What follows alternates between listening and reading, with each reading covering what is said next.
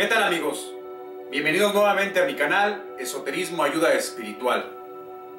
Los saluda su amigo Roberto. En esta ocasión les voy a hablar de un amuleto muy poderoso, que es la mano de Fátima. Pero ¿qué es en realidad la mano de Fátima? ¿Qué simboliza?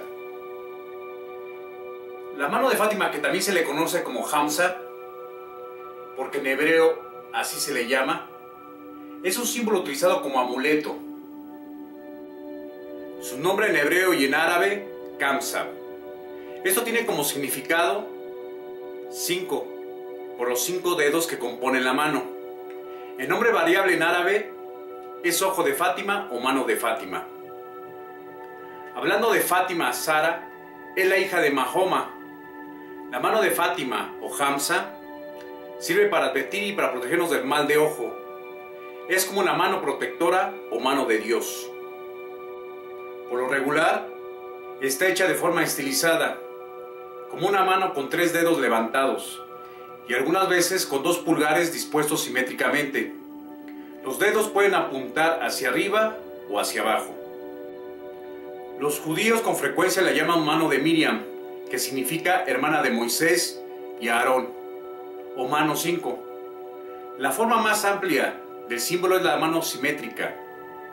El dedo corazón en el centro, a sus lados el anular y el índice. Un poco más cortos que el corazón e iguales entre sí. Y en los extremos dos pulgares, también del mismo tamaño y algo curvados hacia afuera. En ocasiones contiene otro tipo de símbolos, como son inscripciones de carácter religioso, estrellas de David, ojos y otros que son para su poder. Para los musulmanes, muy a menudo funden una relación entre los cinco dedos de la mano y los cinco pilares del Islam, mientras que los judíos hacen lo propio con los cinco libros de la Torá.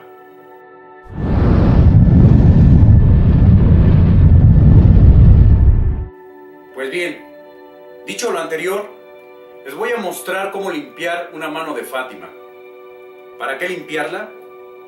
Como lo he dicho en videos anteriores, cualquier amuleto o piedra que vayamos a aportar, hay que limpiarlo porque no sabemos de dónde proviene, por qué manos han pasado. Entonces hay que retirarle todas esas energías negativas que éstas puedan tener. Para esto vamos a requerir de ciertos artículos que no son costosos y que son muy fáciles de conseguir. Estos son una vela blanca, sal de grano, incienso, el aroma que ustedes deseen,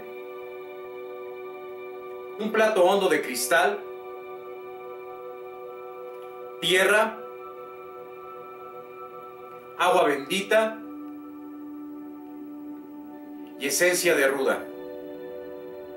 Esos serían los artículos que vamos a utilizar.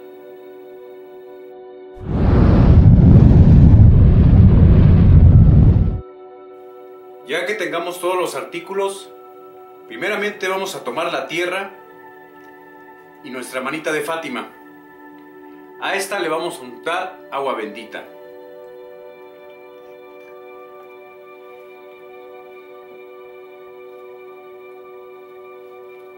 Y antes de enterrarla, vamos a rezar un Padre Nuestro.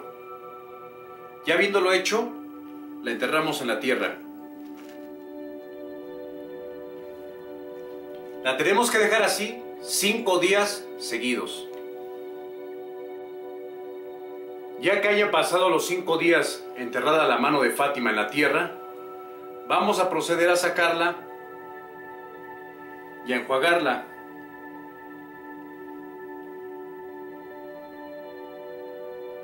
Después en el plato hondo de cristal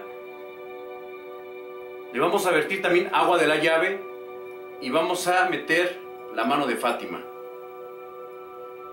Ya estando ahí nuestro amuleto, le vamos a vertir la sal de grano, que la cubra totalmente.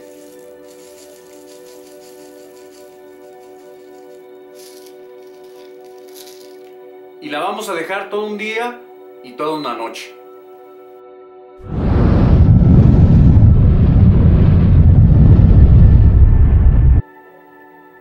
Ya que haya pasado un día y una noche la manita dentro del recipiente con agua y con sal, procedemos a sacarla. La secamos y la vamos a pasar por el fuego de la llama de la vela.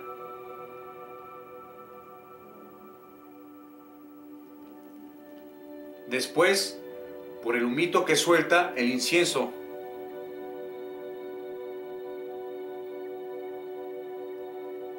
Posteriormente tomamos la esencia de retiro y le untamos a la manita. En lo que estamos untando la esencia de retiro, vamos a decir una plegaria que voy a dejar en mi blog. Dejo el link en la descripción del video.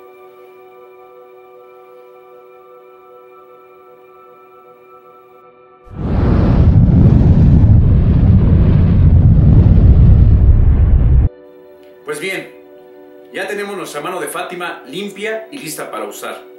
La pueden portar en un llavero o en un collar. Es importante recordar que nadie más puede tocar este amuleto. También hay que hacer todo este proceso cada dos o tres meses. La oración, como dije anteriormente, la voy a dejar en mi blog. Dejo el link en la descripción del video. Si les gustó este video les pido de favor que se suscriban a mi canal para que sigan recibiendo material de este tipo, que lo compartan con sus amigos y que le den pulgar arriba. También dejo el link de mi página de Facebook y también de mi Twitter para que los visiten. También hay cosas interesantes. Este es mi canal, Esoterismo Ayuda Espiritual. Que Dios los bendiga y hasta la próxima.